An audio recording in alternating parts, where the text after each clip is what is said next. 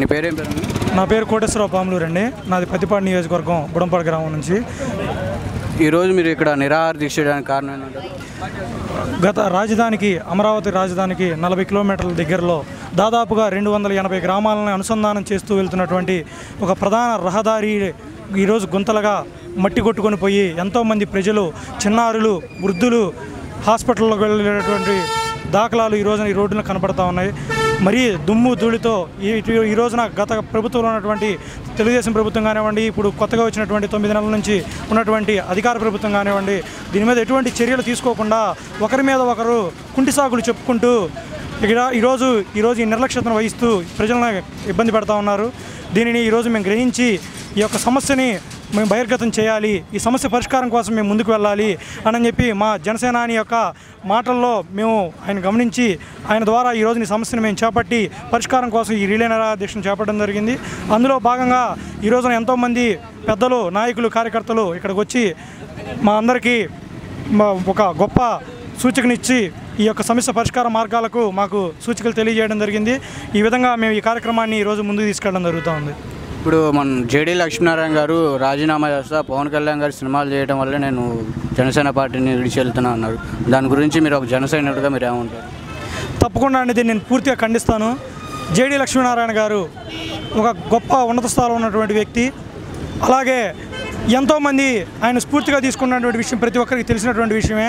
కానీ ఇంత పెద్ద వ్యక్తి ఇంత ఉన్నతమైనటువంటి వ్యక్తి ఈ రోజున ఒక చిన్న కారణం చేత పార్టీలో నుంచి వెళ్ళిపోవాలి అని నిర్ణయించుకొని ఇంత చిన్న కారణాన్ని పవన్ కళ్యాణ్ గారి మీద ఒక గొప్ప వ్యక్తి మీద ఒక నీతి నిజాయితీ అని తన మాటలతో పలినటువంటి వ్యక్తి మీద ఈ రోజున ఈ బురద చల్లి అతను బయటికి వెళ్తారని చెప్పి మేము ఊహించలేదు. కానీ అతనికి ఈ రోజున జేడీ లక్ష్మీనారాయణ గారిని ఒకటే చెప్తా ఉన్నాను. సార్ మీ మనస్సాక్షిని మీరు ప్రశ్నించుకోండి. ఒక ఉన్నత స్థానంలో ఉండి ఒక నిజాయితీ కలిగిన వ్యక్తిగా మీరు పేరు పొందుతా ఒక గొప్ప వ్యక్తితో నేను ఈరోజు పనిచేయడానికి వచ్చినందుకు నేను చాలా సంతోషపడుతున్నాను. చాలా గర్వంగా ఉందని మీరు ఫీల్ అయ్యి మీరు మాట్లాడినటువంటి వ్యాఖ్యలు ఈ రోజున ఏమయ్యాయి? మీరు ఎందుకు ఈ రోజున పార్టీని ఈ చిన్న కారణం చేత వీడారు? అని నేను ఈ రోజున మిమ్మల్ని అడుగుతా ఉన్నాను. దయచేసి ప్రతి ఒక్కరికి ఇది ఒక ఫ్యాషన్ అయిపోయింది. పవన్ కళ్యాణ్ గారి మీద బురద జల్లడం పార్టీలో నుంచి వెళ్ళిపోయేటప్పుడు అలా బురద చల్లడం వల్ల మనం ఎంతో ఎదుగుతాము అనేటటువంటి చాలామంది కనపడుతూ ఉన్నాయి. దీన్ని మానుకోవాలి.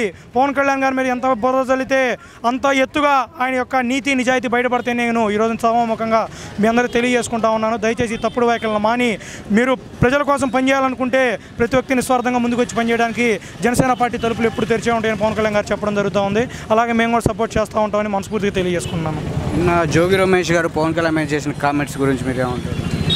ఈ రోజున ప్రజలు ఎన్నుకొని ఒక ఉన్నత స్థానానికి ఒక గొప్ప అధికారాన్ని ఇచ్చినటువంటి వ్యక్తి తన స్థాయిని దిగజార్చుకొని తన యొక్క విలువలను అమ్ముకుంటూ కేవలం మేము విలాసవంతమైన జీవితం కోసమే ఈ అధికారంలోకి వచ్చాము అని చెప్పి తన పోగడల్ని బయటికి చూపించుకుంటూ ఈ మనం చూస్తూ ఉంటే ప్రతి ఒక్క ఎమ్మెల్యే అభ్యర్థులు ప్రతి ఒక్క మంత్రులు అధికారంలో ఉన్నటువంటి ప్రతి ఒక్క వాళ్ళు వాళ్ళ యొక్క దుర్భషలారే వైఖరి మానుకోవాలి. నిన్న జోగి రమేష్ గారు చేసినటువంటి వ్యాఖ్యలకి నేను చెప్తా ఉన్నాను. అయ్యా అక్కడ ఉన్నటువంటి కొంతమంది వ్యక్తులను కనుక్కుంటే మీకు ఒక అరగంట ముందే పిచ్చి కుక్క కరిసిందని చెప్పి ప్రతి ఒక్కరు చెప్తా ఉన్నారు. ఓ ఎందుకంటే పచ్చ కామెరలో ఉన్న వాడికి లోకం అంతా పచ్చగా కనపడుతుంది అంటారు ఈ రోజున మీకు పిచ్చి కుక్క కరిచినటువంటి వైఖరి వల్ల ఈ రోజున మీరు మీడియా ముందుకు వచ్చి పిచ్చి పిచ్చి మాటలు మాట్లాడుతూ ఉన్నారు. ఒక ఈ రోజున సమస్య ఎక్కడ ఉంటే పవన్ కళ్యాణ్ గారు అక్కడ ఉన్నారు. పరిష్కారం ఎక్కడ జరగాలి అని ఉంటే జనసేన పార్టీ అక్కడ ఉంటుంది. అది ప్రతి ఒక్కరికి తెలిసినటువంటి అంశమే. దీన్ని పార్టీ యొక్క ఎదుగుదలని జనసేన పార్టీ ప్రజల కోసం పోరాడుతున్నటువంటి ఈ యొక్క ఎదుగుదలని మీరు నిగబట్టుకోలేక ఈ రోజున మీరు పిచ్చి పిచ్చి వ్యాఖ్యలు చేస్తూ ఉన్నారు. నిజమైన పిచ్చి కుక్క మీకు కలిసిందని చెప్పి మీ చుట్టుపక్కల ఉన్నటువంటి కొంతమంది కోవట్లు మాకు చెప్తా ఉన్నారు.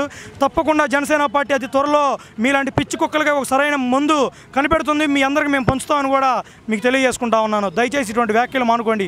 ఒక నీతి నిజాయితీ కలిగిన వ్యక్తిని కొన్ని లక్షల రూపాయల కోట్ల రూపాయల ధనాన్ని ప్రజాధనాన్ని ప్రజల సమస్యల కోసం తన విలాసవంతమైన జీవితాన్ని తృప్రాయంగా వదిలేసినటువంటి వ్యక్తి కోసం నిజంగా మేము పోరాడుతున్నందుకు చాలా గర్వపడుతున్నాం.